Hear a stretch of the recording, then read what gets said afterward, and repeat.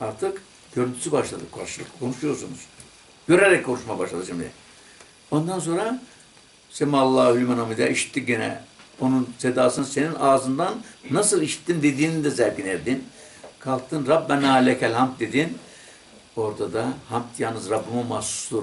Sözünü senin masarından senin aciziyetinin gereği olduğuna, ona muhtaç olduğunun gereğini idrakına vardın. Sonra secdeye vardın. Subhan Rabbi ala ala diyerek alalının da tecellisinin zatın tecellisi olduğunu zevkine erdikten sonra iki defa aynı şekilde bunların tecellileriyle ikinci rekat tamamladın. Birisini ilimle, ikisini de seyrederek namazını oturdun. Ettehiyyatü lillahi ve selavatü vattiyevat. Bakın bu artık tabi bu sünnettir ama bu teyyat miktarı oturmak farzdır. Oturuyorsunuz orada. Yani sen nasılsa şey yaptın ya namazdayken karşılıklı konuştun ya artık burada ayrıca bunun idrakını toplama yani hesabın toplamasını yapsan da olur yapmasan da olur. Emis o çarpmanın veya toplamanın sağlamasıdır. Ama o hadis-i şerifte Peygamberimiz bunu böyle kıldığı için oturmak farz, bu sureyi okumak, şeyi, hadisi ifade etmek sünnettir. Ne demektir o? Ettehiyyatü lillahi ve selavatü ve attiyevat. Bakın, tazimim, ibadetim, taatım, her türlü saygım sanadır ya Rabbi demek. Esselamu aleyna ve ala ibadillahi salihin. Bakın, bu Cenab-ı Hakk'a mahsus. Kulum, selamım, selametim, bereketim, mutluluğum senin üzerine olsun diyor.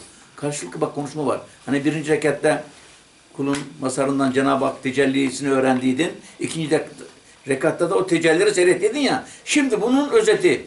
Birinci rekatta kul Rabbine hamd ediyor. Bunların elde ettiği için. Teşekkür ederim diyor. Çünkü her şeyim sana aittir. Sen ben de tecelli etmezsen benim varlığım olmaz ya Rabbi. Onun için her türlü tazimim, sevgim, secdem, ibadet ve taatım sanadır diyor. Artık terakkim kalmadı diyor.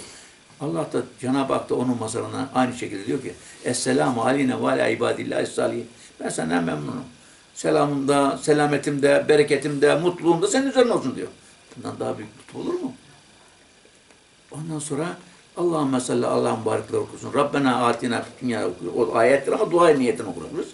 Yani haline bütün İbrahim Aleyhisselam'ın ümmetine çünkü Peygamber Efendimiz sallallahu aleyhi ve sellemin İsmail soyundan geldiği için İbrahim'in hanım dinindeki olanlara Hz. Muhammed sallallahu aleyhi ve sellemin efradına Allahümme salli Allah'ın mübarekleri okuruz. Ondan sonra da Rabbena atina bütün insanlara bakın. Bütün anamı babamı da bağışla demek suretiyle ne yaparız? Teyyattan sonra bunları okuruz. Bunlar tabi farz olan kısmı değil ama sünnet olarak bunları da okuruz biz şeyde. Farzlarda biliyorsunuz namazın içindeki ve dışındaki farzlar altışarda 12 tanedir. Onun için dışındaki olan abdestten, necasetten, taharat, şey, sadr avrat, istikbali kıbla, vakit niyet diye saydığımız altı tane.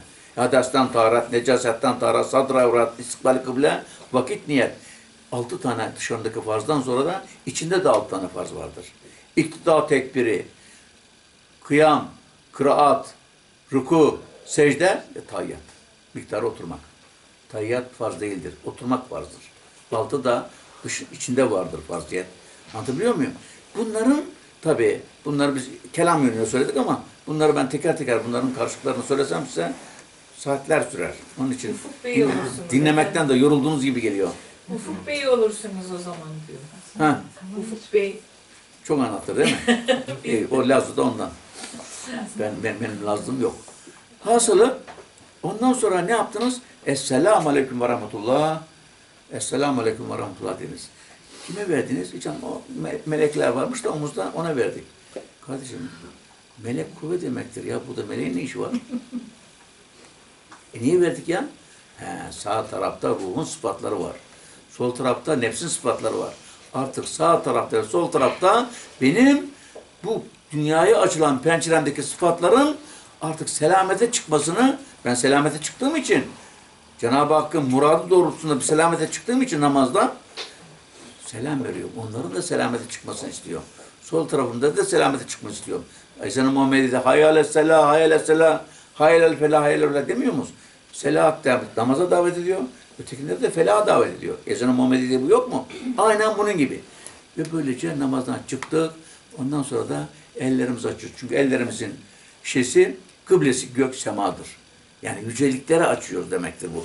Yoksa bu yüceliğe değil, gönül semasını açıyorsunuz bunu. Anlatabildim mi? Aslında sizden size istiyorsun. Evin içerisindesiniz, kimse yok. Odanın bir tanesini çekilmişsin, namazınızı kılmışsın, elinizi açıp. Kim görüyor sizi? E Cenab-ı Allah görüyor. Senden, nereden görüyor? Senden görüyor. Sendeki işte o semayı açma, elini açmanızın demektir bu.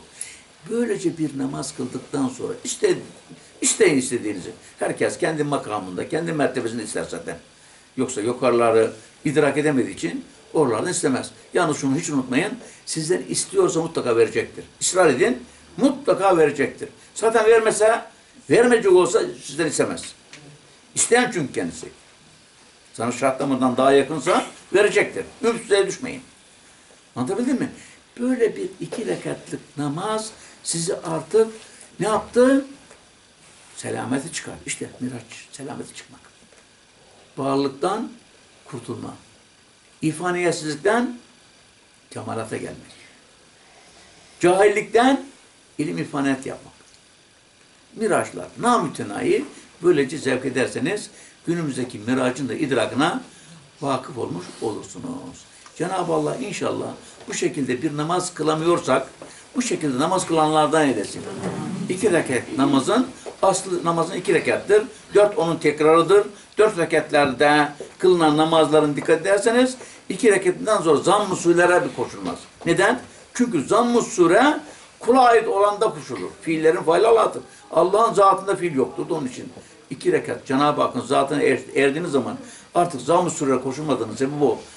Öğle namazının dört rekat, üç ve dördüncü rekatlarında, ikindi üç ve dörtte, akşamda ikiden sonra olan bir rekatta ve diğerlerinde yani ikiden sonra olan farz namazların Fatiha okunur, zamm-ı sure okunmaz. Çünkü Cenab-ı Hakk'ın zatında fiilullah yoktur. Ama varlıklara sıfatları tecelli ettiği zaman o sıfatlardan fiiller zuhur eder de onun için. Anlaşıldı? Şimdi sadakallahu aleyhi. ええ。